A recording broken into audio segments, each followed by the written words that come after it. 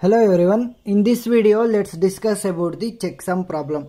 So in checksum problem, when a sender, when a sender sends a message to the receiver, at the intermediate stage, this checksum will happen.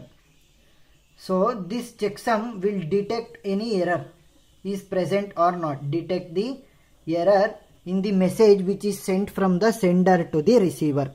So how means? Let's see. So first what we should do as the problem on this say check the sum.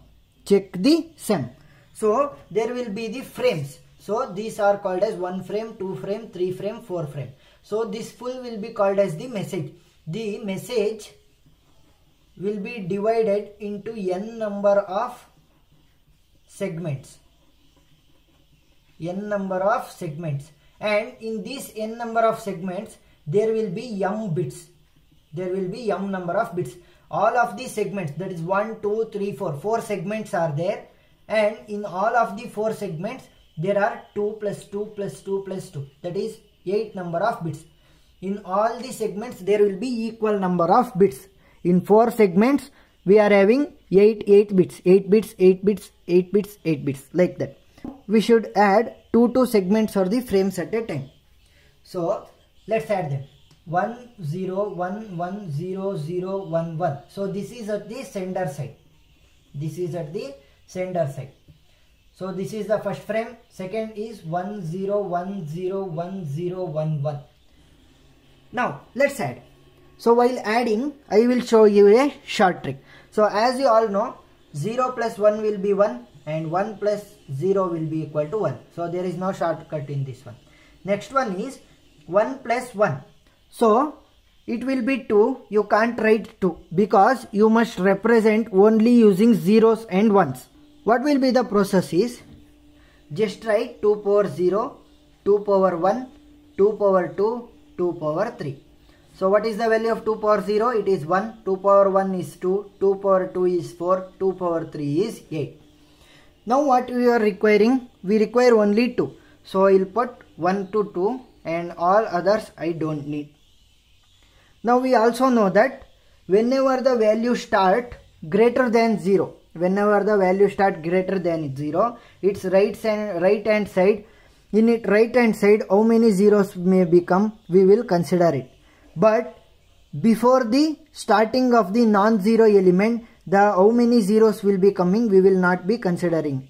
So these two zeros will not be considered only 1 and 0 will be considered. So 0 will be the sum and 1 will be the carry if it is 1 plus 1 plus 1 that is 3 how you will represent? You need 2 also you need 1 also. 2 plus 1 will be 3 so 1 and 1 1 will be sum and 1 will be carry. So this is the maximum that is only 3 1 2 3 up to 3 they will give. After that there will be no addition. Now 1 plus 1 will be 2 will represent? 0 will be the sum and 1 will be carry.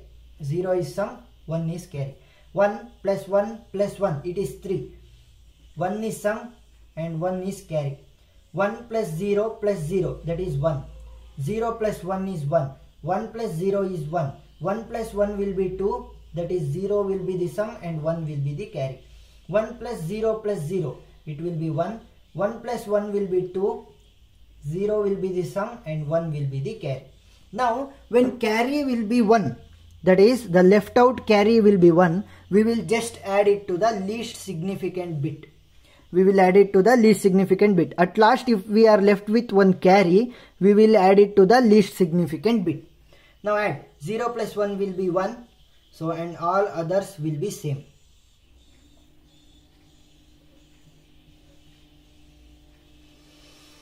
Now these two frames are done. Now let's go with the third one 0 1 0 1 1 0 1 0 1 plus 0 will be 1 1 plus 1 will be 2 so that is 0 will be the base. So, so more 1 so 0 will be the sum and 1 will be the carry. 1 plus 1 will be 2 how will represent? 0 will be the sum and 1 will be carry. 1 plus 1 plus 1 3 sum is 1 carry is 1 1 plus 1 plus 1 sum is 1 carry is 1 1 plus 0 plus 0 1 1 plus 1 will be 2 0 is the sum and 1 will be the carry. 1 plus 0 plus 0 it will be equal to 1 now we added the three frames. Now we are left out with only one frame. That is 1 1 0 1 0 1 0 1 now 1 plus 1 will be 2 0 will be the sum 1 will be carry 1 plus 0 plus 0 1 0 plus 1 1 1 plus 0 1 1 plus 1 will be 2 sum will be 0 and carry will be 1 1 plus 1 plus 0 that is 2 0 will be the sum carry will be 1 1 plus 0 plus 1 that is 2 0 will be the sum carry will be 1 1 plus 1 plus 1 sum will be 1 and carry will be 1 when we are left with carry 1 at the last we will add it to the least significant bit. Add it. 0 plus 1 will be 1 and all others will be same as it is. Now we added all the four frames at the sender side. We are left out with the remainder this one. So this one will be the remainder. So this process will stop at the sender side. Now it will go at the receiver side. Now it will go at the receiver side so what you must do is simple technique. Same process will take place at the receiver side.